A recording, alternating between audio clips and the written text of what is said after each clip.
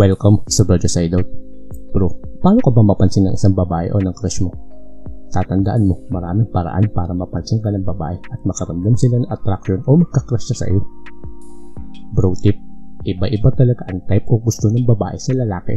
Kaya kung hindi ka pinapansin ng babae ay sign na yun to walk away. Stand straight, head up, and have an abundance mindset towards women. Ano nga ba ang mga paraan para mapansin ka ng babae?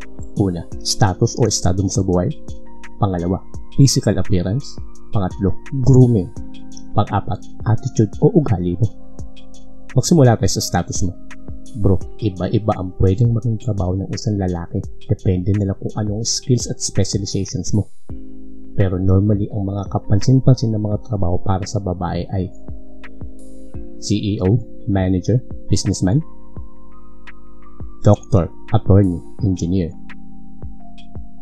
athletes, music artist,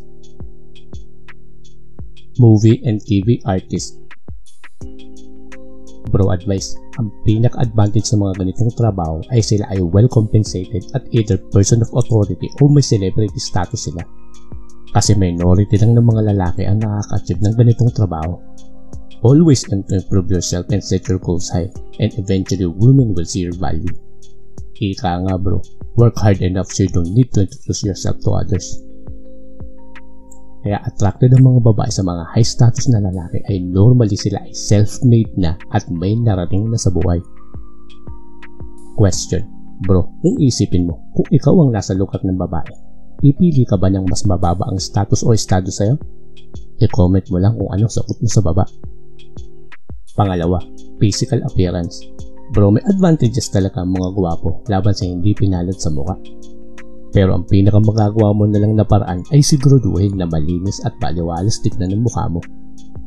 Iba-iba ang tipo ng mga babae sa itsura na gusto nila sa lalaki. Either gwapo, cute, or astig ang mukha ang gusto nila. Sunod, hubog ng katawan. Bro, may mga babae na gusto nila payat, macho o dadpad ang katawan. Magugulat ka sa mga babae kasi ang pangangatawan ng isang lalaki na type nila ay isang direct indicator na sexually attracted sila o nalilibugan sila sa katawan mo. Pangatlo, grooming. Ang grooming ay ang overall appearance at kung paano mo dinadala ang sarili mo. Kaya always make sure you look sharp and with confidence. Magsimula tayo sa scent o amoy mo. Bro, mahalaga na dapat pabango ka lagi. Dapat makapamili ka din ng pabango na bagay sa'yo.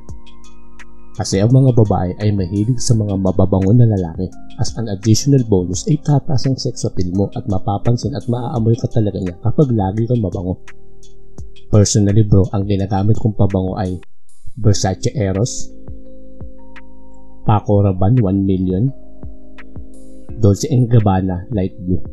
Kung interesado ka sa mga pabango na to, eh, click mo lang yung link na makikita mo sa baba. Sunod, hairstyle mo.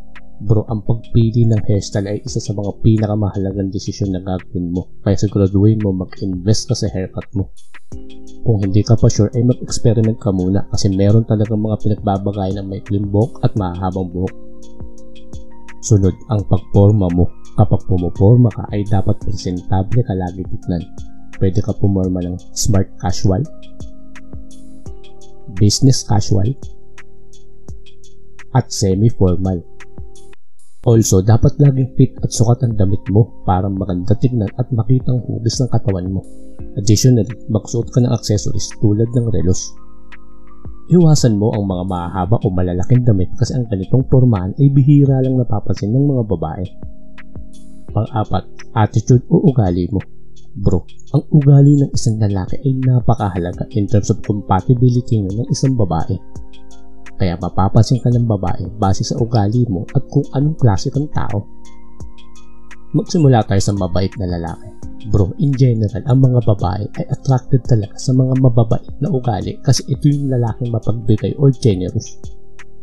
Meron kasing study na 88% ng mga babae ay nagtatagal sa relationship dahil mabait at generous ang isang lalaki.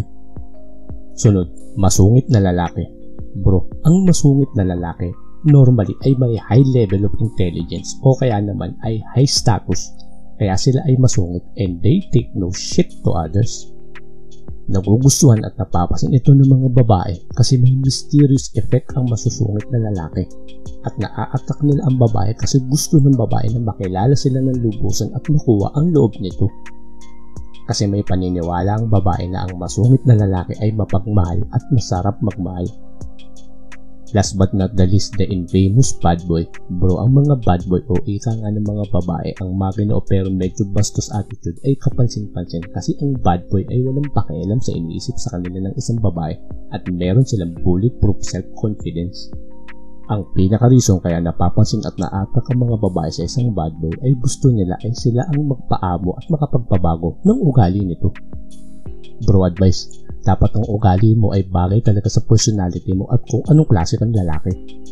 Kasi papapansin agad ng babae kung fake ang pinapakita mong ugali sa kanila. Magpakatotoo ka sa sarili mo para makilala ka ng babae at malaman mo kung compatible ba talaga kayo sa isa't isa. Ngayon bro, nalaman mo na ang mga paraan kung paano ka mapansin ng babae o ng crush mo. Lagi mo lang itong tatandaan para tumaas ang standard mo sa sarili mo at eventually mapansin at maka-attract ka ng babae na gusto mo. Salamat sa panonood at welcome sa Brother Side Out.